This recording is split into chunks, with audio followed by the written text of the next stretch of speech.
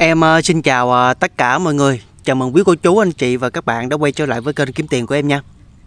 Video này em sẽ chia sẻ cho anh chị mình cái cách chúng ta đăng ký Và cai xe cái sàn Robic Và em nói sơ qua ha Tại sao chúng ta lại đăng ký cái sàn này?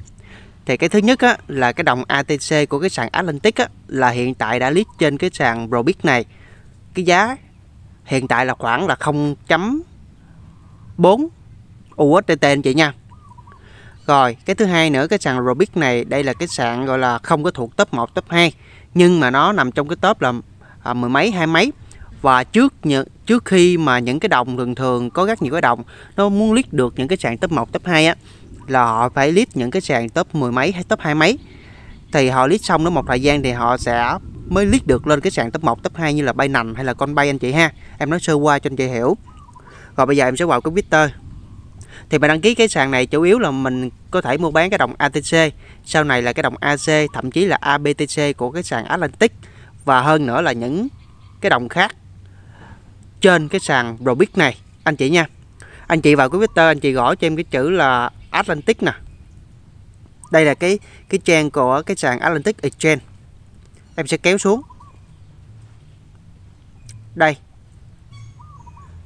Rồi những điều sau được đánh dấu thì nguồn cung tiền xu ban đầu là 2 triệu cái đồng ATC và giá niêm yết cho lần bán ban đầu là 10 đô trên mọc ATC ha, là khi lít hot biết đó anh chị.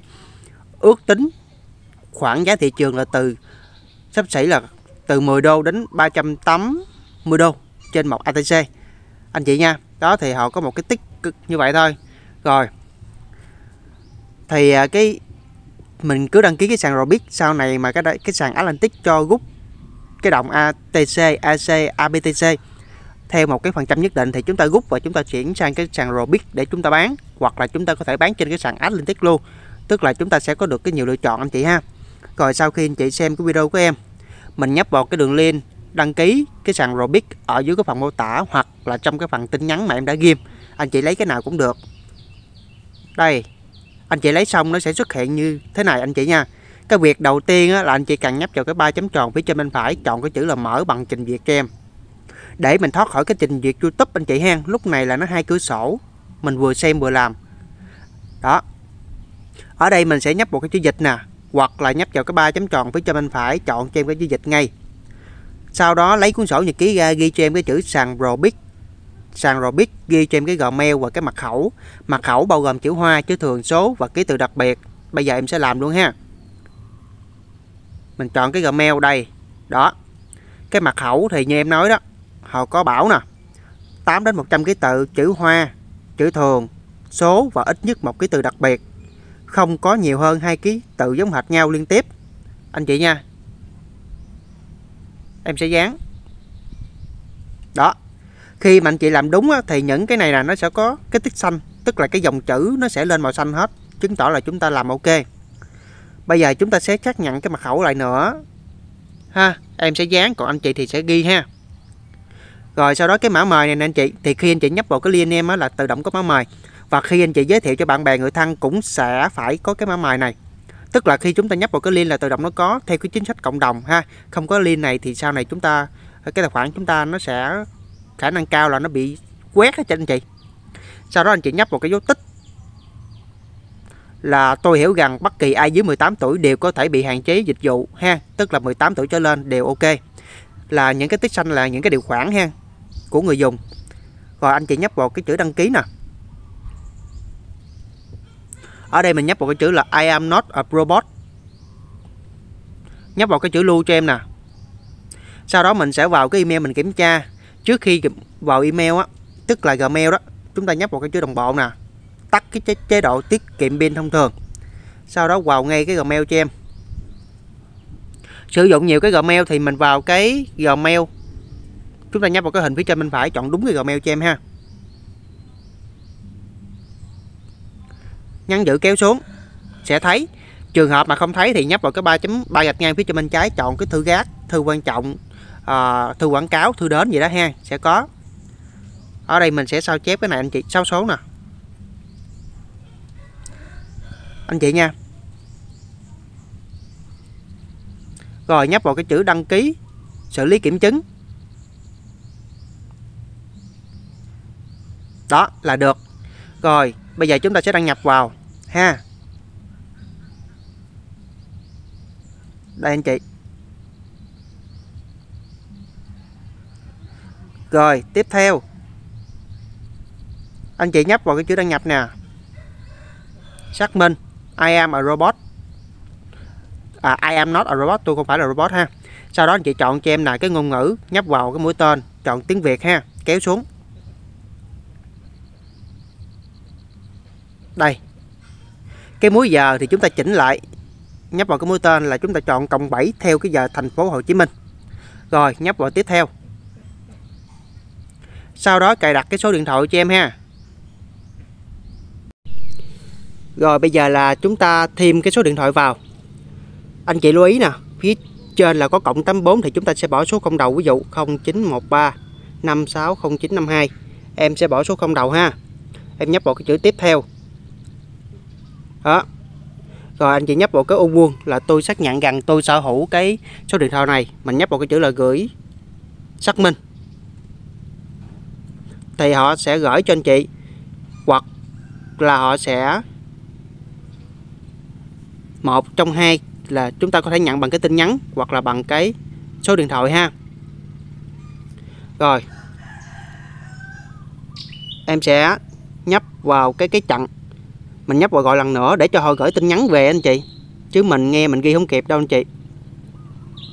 Đó, anh chị thấy không? 593009 593009 nhấp vào cái mục tiếp theo cho em nhấp vào cái chữ lưu. Sau đó xác thực hai, hai yếu tố là cái gmail đó mình nhấp vào chữ xác minh luôn anh chị. Sau đó chúng ta vào cái gmail ha. Để anh chi để chúng ta xác thực bảo mật cái tài khoản của mình. Tránh cái bị hack á. Anh chị nhắn vào giữ nè. Có này ha. Mình sao chép 6 số này. Sau đó mình tiếp tục. Về đây mình dán nè rồi, anh chị nhấp vào cái chữ gửi. Mình nhấp vào cái chữ tiếp theo. Cái chỗ OTP này mình có thể bỏ qua nha anh chị, ha. Chúng ta không nhất thiết phải làm. Đó, anh chị làm thì nó bảo mật tài khoản anh chị cao hơn. Nhưng cái rủi ro của nó là nếu anh chị mà quên cái mật khẩu á, là anh chị sẽ không có rút tiền được. Còn nếu như mà khi mà chúng ta nạp tiền, rút tiền mà họ bắt buộc á thì chúng ta hãy làm ha. Còn không thì thôi, bây giờ anh chị nhấp vào cái chữ là bỏ qua ngay bây giờ đó. Anh chị sẽ nhấp vào cái chữ là bỏ qua ngay bây giờ cho em luôn.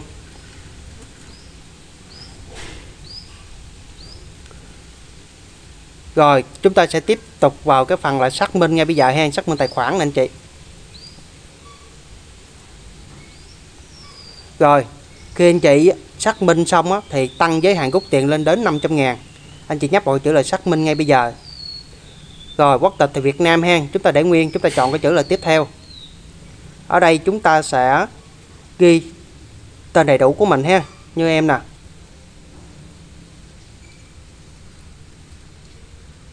Giới tính chọn nam, ngày tháng năm sinh. Tại đây nhập vào cho em, ví dụ, ngày mấy tháng mấy, ha. Sau đó địa chỉ ghi đúng trên cái chứng minh nhân dân, căn cước công dân của mình.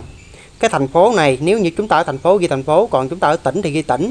Cái mã bưu chính này là cái mã năm số. Anh chị vào Google Chrome mở một cái cửa sổ lên gõ cho em cái chữ là zip code, ha.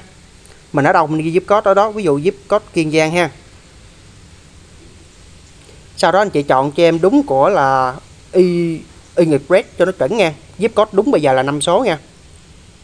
Rồi bất cứ của thành phố hay của tỉnh gì đó, anh chị cứ lấy cho em cái số 1 đầu tiên, nha. Số thứ tự nè, bưu cục trung tâm của tỉnh hoặc thành phố.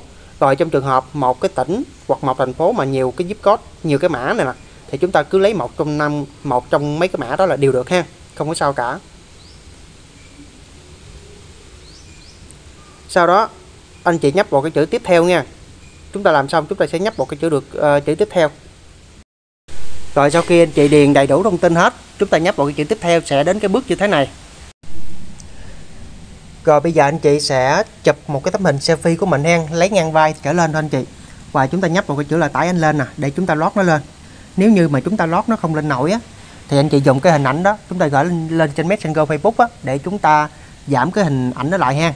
Chúng ta gửi lên tải về gửi lên tải về làm khoảng 3 lần cho em là nó giảm dung lượng rồi sau đó chúng ta sẽ tải ảnh lên ha. Sau khi anh chị tải ảnh lên á rồi chúng ta nhấp một cái chữ tiếp theo bên phải giùm em. Ở đây mình sẽ chọn ba cái giấy chúng ta chọn à, cái nào cũng được ha. Theo em thì à, cái ID do chính phủ cấp nhấp vào đây. Nhấp vào cái chữ tiếp theo rồi, tiếp tục nè. Chúng ta tải ba, hai cái hình ảnh lên.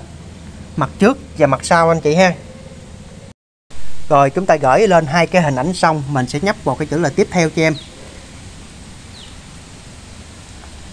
Ở đây chúng ta chờ hộp lót nha anh chị. Cũng ờ, khoảng ờ, một thời gian đấy.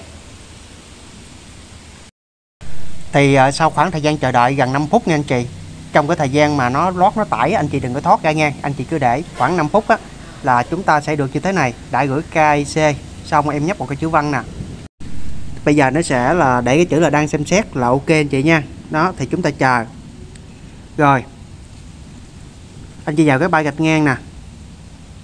Đó. Bây giờ em sẽ cho anh chị xem cái ờ, cái chữ sàn giao dịch nè. Ở đây anh chị sẽ thấy cái cặp là BTC với USDT anh chị nhấp vào cái mũi tên nè. Anh chị sẽ sẽ gõ cho em cái chữ là ATC đó nó có chữ là Atlantic Con đó chúng ta nhấp vào thì cái giá hiện tại là 0.5 anh chị ha. Rồi cái biểu đồ nó thì nó tương đối là nó không có được đẹp như những cái sàn khác. Ở đây anh chị zoom nó lại nè kéo nó xuống thì chúng ta sẽ xem. Và chúng ta có thể kéo như thế này. Đó anh chị xem được cái giá của nó. Rồi anh chị muốn mua bán á, thì bây giờ chúng ta sẽ thoát ra. Thì anh chị mình à, bây giờ mình trong khi chờ đợi mà duyệt KC á, là chúng ta sẽ tải cái app anh chị có thể là vào cái CH Play hoặc là cái App Store, ha, tùy theo cái điện thoại của chúng ta. Rồi sau đó anh chị sẽ gõ cho em cái chữ Probit nè. Ở đây em cài đặt rồi nha, còn như anh chị chưa cài đặt thì nhấp vào cái cài đặt. Đó, rồi sau đó chúng ta đăng nhập vào và chúng ta giao dịch là ok anh chị ha. Đơn giản, đăng ký thì đăng ký trên web, nhưng mà anh chị giao dịch thì giao dịch trên cái app nó sẽ đẹp hơn nha anh chị nha, ok hơn. Rồi có gì không rõ thì cứ bình luận, em sẽ trả lời cho mọi người nha mọi người.